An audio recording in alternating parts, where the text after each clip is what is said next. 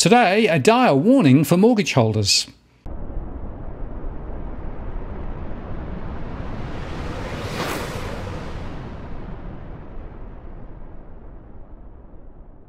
Hello again, it's Martin North from Digital Finance and Analytics. Welcome to this post covering finance and problem news with a distinctively Australian flavour.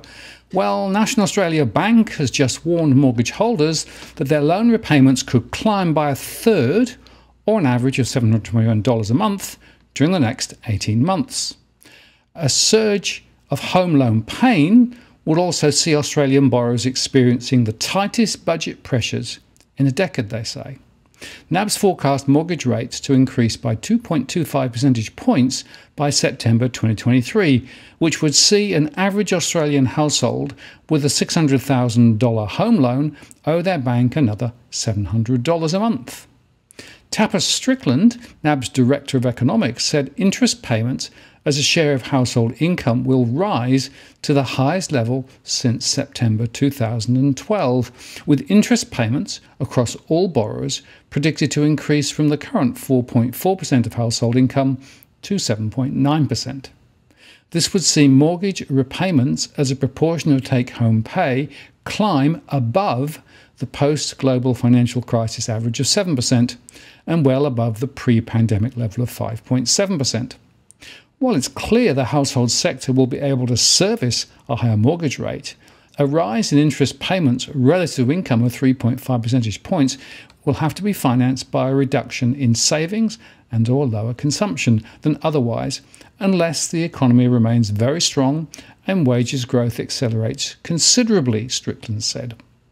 CoreLogic data show that Australia's median property price was at $718,146 in January, following a 22.4% annual increase, which was the fastest pace in 32 years.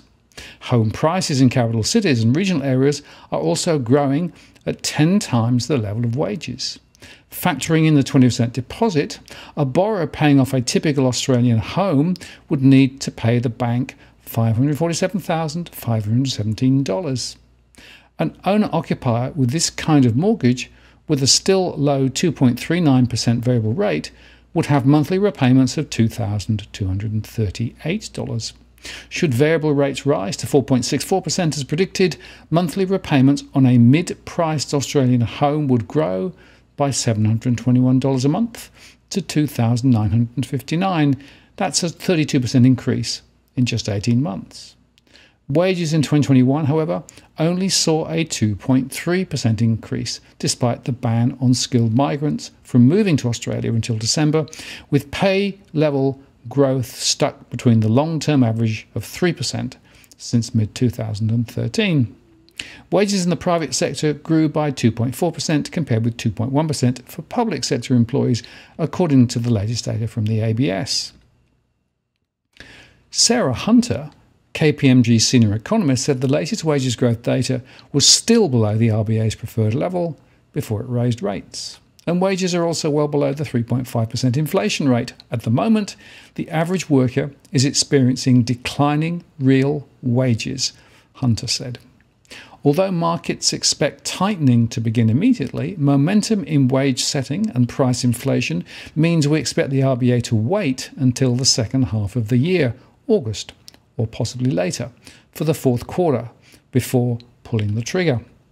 The Reserve Bank of Australia cut the cash rate to a record low of 0.1% in November 2020, following the national COVID lockdowns, and RBA Governor Philip Lowe last year repeatedly said it would stay there until 2024 at the earliest. But NAB is predicting rates will hit 0.5% by the end of 2022 and 0.75% by the March quarter of 2023.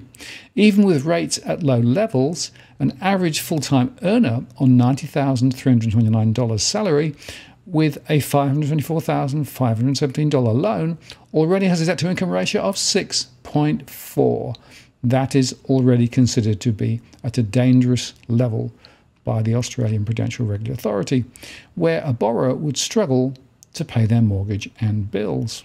Since November, APRA required the banks to model a borrower's ability to cope with a 3 percentage point increase in mortgage rates, up from 2.5 percentage points previously. And if you think that that rate rise is unlikely to happen, then note this Westpac has been the latest Big Four bank to slash its lowest variable rate, heating up competition in variable home loan rates. The move follows NAB trimming its basic variable rate on March the 9th and ANZ on February the 8th. Westpac's lowest variable rate is now an ultra competitive 2.09% for people with a 30% deposit, while both St George and the Bank of Melbourne now offer 2.04% for borrowers with a 40% deposit. There is also a $3,000 cashback on offer for Westpac refinances and $4,000 for the subsidiaries. Westpac Group's fixed rates, though, continue to increase, with its one to five year rates for owner occupiers and investors now up by 0.3%. This brings Westpac's four year fixed rate for owner occupiers paying principal and interest to 3.99%. That's a 2.1 percentage point increase to the 1.89% rate in April last year. RateCity.com.au data show that Westpac home loan rate changes for owner occupiers are pretty significant. It's astonishing to see some fixed rates rise by over two percentage points in the last 12 months when the cash rate hasn't moved a muscle, said Sally Tindall, who's RateCity.com.au's research director. Westpac and other banks are responding to rising costs of funding and the expected RBA hikes. As a result, the majority of big four bank owner occupier fixed rates now start with a three something or even a four something. It's no wonder the proportion of customers choosing to fix are plummeting. RateCity.com.au said variable rates will continue on a different trajectory, at least for now. For now, there is an opportunity for variable rate customers to be moving to a lower rate.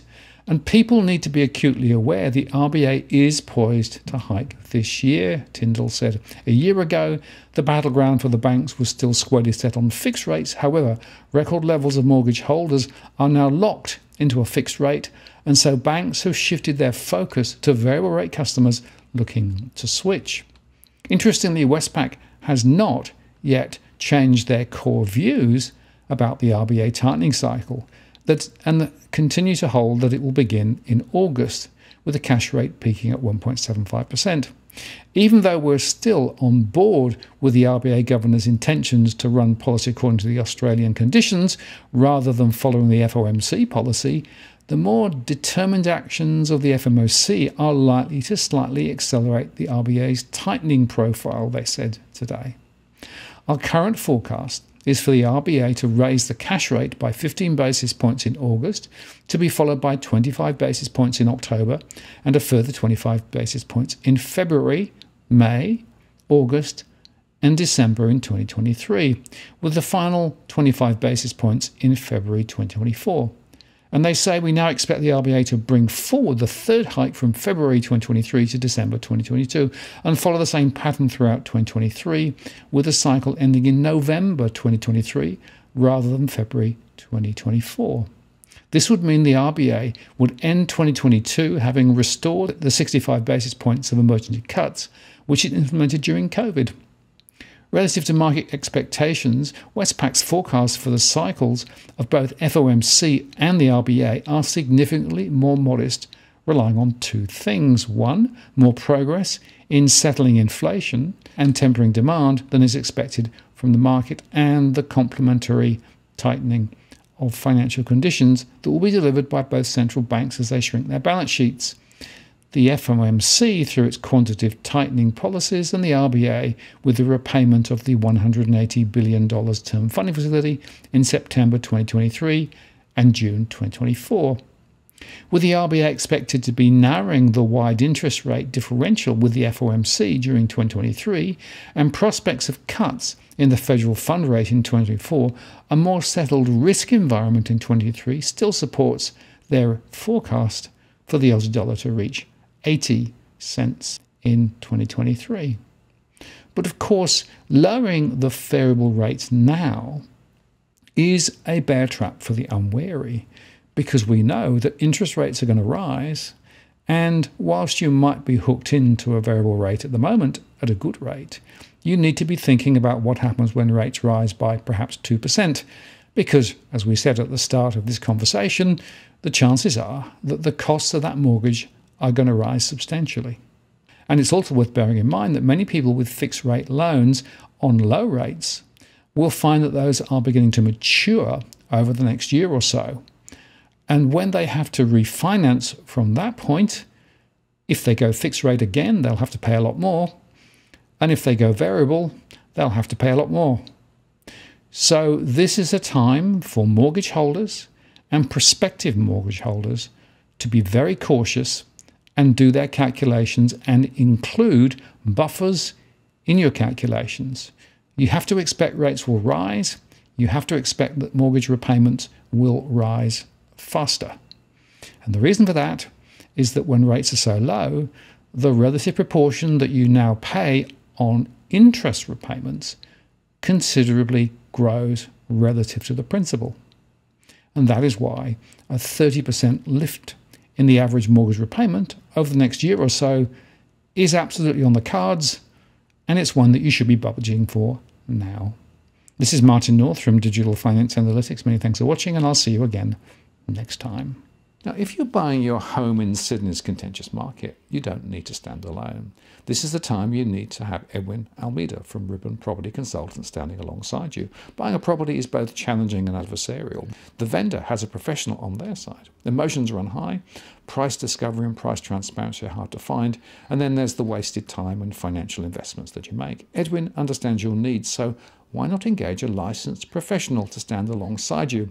With RPC, you know you have experience, knowledge, and master negotiators looking after your best interests. So shoot Ribbon an email at info at ribbonproperty.com.au. And if you use the promo code DFAWTW slash Martin, you can get a 10% discount offer.